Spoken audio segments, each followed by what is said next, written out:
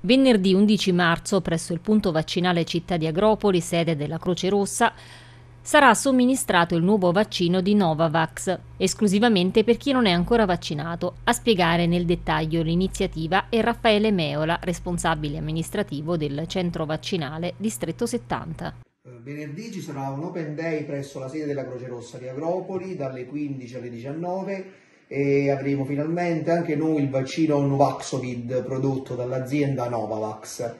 Uh, è un vaccino vecchio stampo, si può dire, che utilizza la tecnica delle proteine ricombinanti, uh, già in uso sin dagli anni 80, ad esempio contro malattie quali la pertosse e l'epatite B.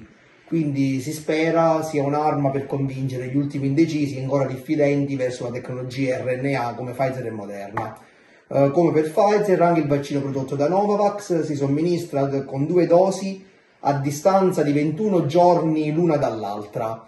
Uh, è autorizzato dei 18 anni in su e saranno fatte con questo vaccino esclusivamente prime dosi.